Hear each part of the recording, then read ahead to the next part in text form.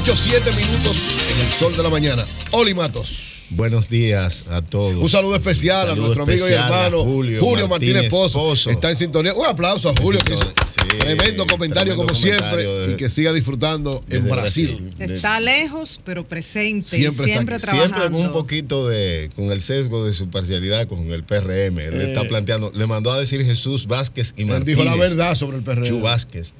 Eh, amigo de Julio, me dice, dile a Julio que la interna del PRM son el año próximo, no este año. La va a ganar Hipólito, Hipólito va a ganar la presidencia y va a eh, ser él el o PRM Carolina. Está de acuerdo. No, pero es para la elección de la dirección del Va a ganar. Hipólito. Hipólito o el que él ponga va a ser presidente. Y no, no tiene, es decir, el PRM sí está de acuerdo con la institucionalidad y con la creación de las leyes que le den garantías a la democracia dominicana. Eh, Víctor, recuerda a Michael Moore, Claro, Michael. Claro Moore. que sí. Fahrenheit 911. Sí, Fahrenheit claro. 911. ¿Está apoyando a Trump? No, no, No, no, está apoyando a Trump. Él dijo yo que no. yo no estoy apoyando. 100% de acuerdo con lo que él está planteando. No, pero él no está Oye, apoyando a ¿qué Trump. Dice que él? podría ganar. Trump. Él dice que que, sería una dice, desgracia.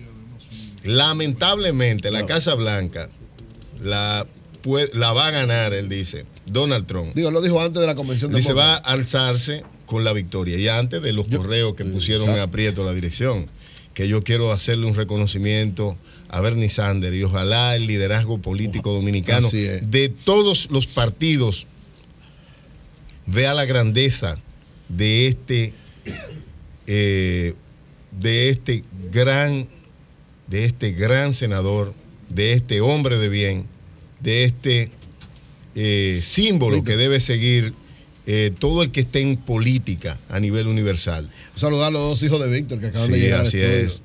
Tan grandes. Bernie. Sanders plantea, Bernie Sanders plantea, no, nosotros no debemos buscar un líder que divida. En el país, debo decirte que Leonel Fernández actuó como Bernie Sanders. Así es. Eh, hay que decirlo. O sea, Sí, Leonel Fernández. Hipólito Mejía, y Hipólito Mejía actuó como Bernie Y, Sanders. exacto, Hipólito Mejía, Hipólito. Mejía cuando O sea, en la eh, pasada su proceso grupo electoral, tanto- exactamente le dijo, tanto no, Hipólito que, como que Leonel quiso como patelar". no, no, no, espérese. No, a Leonel no lo dejaron ni participar. A No, Leonel- pero, a pero Leonel bueno, no le dieron ni el chance. Pero oye, a pesar de Bernie eso, fue, fue al Palacio de los Deportes, le levantó la mano a Danilo y lo apoyó. eh, sin embargo, el presidente Hipólito Mejía. Oye, ¿qué dice Michael Moore, Víctor? Yo sé que tú estás muy eh, distraído entretenido con esa, eh, ese premio que te dio eh, Dios y tu esposa de estos jóvenes tan talentosos. Mira, dice Melton que, que tú no puedes hablar mucho de eso porque todavía Danilo está esperando que Hipólito lo felicite en el, cuando ganó la otra vez y que Abinader lo felicite no, ahora no y crea, acepte no su triunfo. El presidente. No, digo, dice, el presi- dice Melton. no, no crea, no, te- no crea eso. Dile que venga a trabajar. Melton, que dice venga- él que venga a trabajar. Que venga a decirlo para acá. Dice aquí, nunca había querido estar tan equivocado. Esto lo dice Michael Moore. Como en este preciso momento. Y oye qué observación interesante hace Michael Moore. Dice, los estadounidenses están viviendo una burbuja en la que estáis convencidos de que los americanos eh, van a elegir a un idiota como presidente. Eso es Bueno, criticándolo, a favor. Dice, necesitan salir de esa burbuja ahora mismo, pero no veo cómo. Dice, Michigan, Ohio, Pensilvania y Wisconsin son el objetivo de Trump. Él dice, él va a focalizar su campaña y su atención en estos estados, que son aquellos que pueden los demócratas conquistar. Dice, no necesita Colorado, Virginia, solo Michigan, Ohio, Pensilvania y Wisconsin. Y estos lo pondrán en la cima. Él sabe bien manipular a la gente y sabe bien cómo controlarlo. Se refiere, y me gustaría, ojalá Víctor preste un chin de atención a esto, aunque sé que, Está- en una acción interesante ahí. Porque Víctor es un conocedor de la política norteamericana.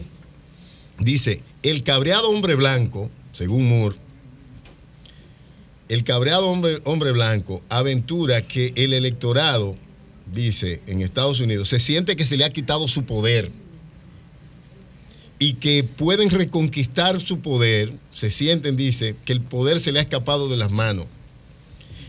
Es, son el 60, eh, más del 67% del electorado y siente que con eh, un tipo como Trump pudiera conquistarlo. Dice, el problema de Hillary, según el cineasta, eh, dice él, recuerda que, su que el voto de él fue por Hillary para que fuera senadora y que él se comprometió a no votar más por Hillary cuando ella apoyó la guerra de Irak. Dice, en este momento no tengo duda que no tendré otra opción. Tendré que votar por ella. Ella está él está con claro. No puede Pero estar está consciente de que una parte del voto amargado de Sanders, dice aquí, el voto depresivo de Sanders se irá a una tercera opción y no votará por Trump, pero tampoco votará por Hillary. Y esto, según la percepción que él está planteando, pudiera evitar, pudiera evitar que eh, pudiera permitirle a, a Donald Trump ganar la presidencia del 8 de noviembre, Víctor. Esa es la observación que él hace. Tú has dicho que será cerrada. Y hay algo sí, que nosotros sé. observamos y es, y que tú planteabas ayer, de que a nivel de participación ha habido una mayor participación en el proceso interno republicano que en el demócrata. Y esa mayor participación, independientemente de que el liderazgo tradicional del Partido Republicano no ha estado apadrinando ni acompañando a Donald Trump, es un aumento del caudal de votos individuales que le ayuda a obtener ventajas en los distritos electorales fundamentales para ganar las elecciones. Ojalá no sea así, pero Michael Moore es un hombre muy sensato y es un tipo que eh, sus observaciones no deben pasar inadvertidas. Claro, Yo soy un observaciones seguidor él la hizo en de el su momento- planteamiento. Yo digo, esas observaciones la hizo en el momento donde estaba todavía la convención republicana. Hay que esperar ahora a ver qué es lo que pasa. Pero entonces, si vamos a la convención demócrata, esta mañana Julio hablaba de, del incidente que salió. sí, pero Es en, decir, en la de, en la quita de- en la de Trump hubo un incidente al principio que no deslució. La, la convención salió muy bien.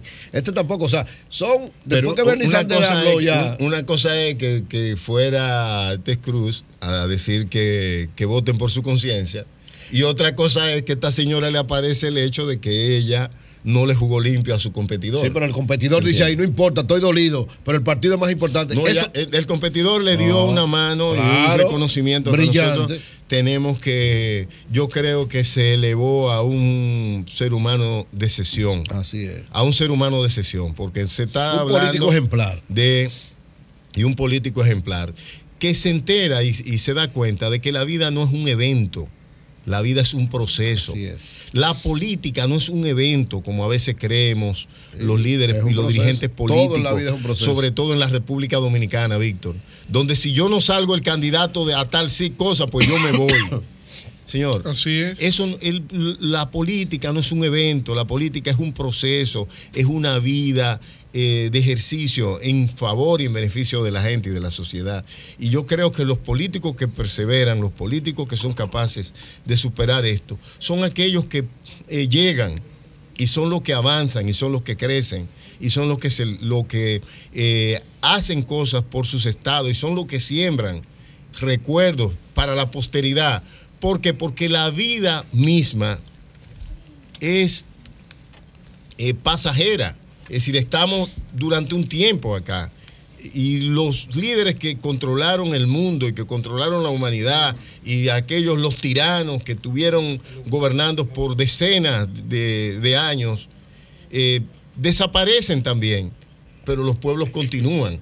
Los pueblos deben avanzar y obtener eh, de sus líderes y de su representación. Te manda a decir Melton Pineda que aquí los ejemplos han sido totalmente distintos. Porque aquí, por ejemplo, en las primarias del PRD se fue Hipólito Mejía del PRD, se fue Luis Abinader del ¿En cuál PRD, primaria? ¿En cuál se primaria fue Amable? Aristi del Partido Reformista, Pero se en fue cuál, en primaria, en el PRD, oye, en el PRD, fue- en el PRD le cayeron a tiro a, lo- a los ciudadanos que fueron no, ahí. No, no, no, no. no. La- le No, cayeron no, a no, tiro. no, Tú sabes que la No, situación no. no fue Ahora, así. Víctor, pero, yo decía que o en sea, el no- último proceso. Pero ya no hablemos de ese Per- perdón, Ya no, pasó. pero, el PRD, pero el es válida, es Escúchame, válida tu, tu observación, Pero, haciendo la comparación Mejía, aquí, pero haciendo la comparación cuando ganó, ganó. Y cuando perdió, perdió. Hipólito Mejía es un hombre que ha dado muestra de ser un líder responsable, de ser un hombre apegado a los principios, con su forma, con su estilo, con, con su que no es un hombre de pose. Hipólito es un hombre que si eh, tiene que hacerte una crítica, te la hace de manera No, pública. Víctor, en la si elección del que- 2012 hubo dos casos que parecidos, no igual que el de Bernie Sanders, pero muy parecidos. Hipólito perdió la convención y apoyó de una vez a Luis Abinader. Leonel no fue a convención porque se decidió que no hubiese convención, pero peleó por ser el candidato, porque él peleó, Sí, recuérdese, claro. fue el comité político que lo quitó. Y sin embargo, dirigió el acto, le levantó la mano a Danilo y lo apoyó. Es decir, los es dos, Hipólito y Danilo, Y se han está hablando de- y, Miguel- de- y Leonel, de líderes que- como que- Sí, pero en el, condujeron el 2012, en el. 2012 también Miguel le levantó la mano a Hipólito y fue y lo proclamó y Sí, logró pero ahí hubo allá. problemas. Bueno, y también después en el Partido Reformista, cuando Eduardo Estrella y Amable Ariti, Ahí hubo Eduardo problemas. Estrella se No, fue dije- y después Amable Ariti Sí, se fue. sí. O sea, No, antes aquí se la cultura no es de, de, de reciprocar. apoyar al otro, sí, no, sí. no. Por Eso eso debemos Ojalá, reconocer claro, y debemos- la- Por eso de reconocer los líderes que han tenido esa, esa grandeza. Yo creo que los partidos deben aprender de esas experiencias y deben aprender de las experiencias del juego limpio. Por el bien de la sociedad, el liderazgo político dominicano tiene que caminar hacia eso. Tiene que caminar hacia eso, porque no importa cuántas leyes aprobemos, si vamos a estar manipulando los resultados, si tras bastidores vamos a estar eh, sujetos a las componendas. Las normas solo tienen efecto si los actores que la van a aplicar están comprometidos con ella. Si no están comprometidos con ella, sencillamente no estamos haciendo nada. Entonces es necesario que la República Dominicana camine hacia la institucionalización. El mundo está en una situación convulsa. Está en una situación convulsa. Ahorita escuchábamos acá eh, de un supuesto secuestro en Francia en una iglesia. Eh, hubo esta semana, recordamos, en, Alemania, eh, un, acto que, que lo recordamos en Oriente Próximo y, eh, y en África del Norte, no, o en Palestina, no en, en territorio alemán. Un kamikaze, un hombre con un chaleco bomba que, estalla en un festival de música. ¿Cuándo habríamos visto eso? Estamos viendo la situación de Turquía, que se complica y el liderazgo eh, europeo no encuentra qué hacer con la situación de la crisis de violencia que se está generando en esos países. Todo eso al final, dentro de poco, tendrá efecto en la República Dominicana. Vimos cómo en, materia de- del agro, en materia de la producción agropecuaria y la producción lechera, tenemos la situación de la inundación de los quesos europeos, suizos y, y holandeses y de otras nacionalidades europeas, fruto de- del bloqueo que le puso Rusia a la compra de este tipo de, de lácteos. Entonces, el mundo que viene de la globalización general a la atomización y, al- a los bloques de poder. Eh, China expone eh, un aumento de su poderío militar para hacerlo paralelo a su condición de segunda economía global. Tienes conflicto en el mar meridional de China con todos sus vecinos que son patrocinados y apoyados por Estados Unidos. Y el mundo se encamina a que esta década, antes de finalizar, pues las tensiones pueden ir subiendo. Por eso es bueno que el liderazgo dominicano defina sobre qué punto debe ponerse de acuerdo. ¿Cuáles puntos deben ser puntos de entendimiento entre los líderes de la República Dominicana? Llámese el presidente Hipólito Mejía como cabeza, el presidente Danilo Medina, perdón, como cabeza del el gobierno y los líderes opositores, tanto de partidos aliados como el PRD, estaría Miguel Vargas, el, el PRM, eh, Hipólito Mejía, Luis Abinader, eh, Carolina Mejía y todo el liderazgo del PRM y las demás fuerzas políticas a fin de que haya un entendimiento, el Partido Reformista, Federico Antumballe, de que haya un entendimiento entre el liderazgo político sobre hacia dónde vamos a conducir la República Dominicana. Cambio fuera Mauri.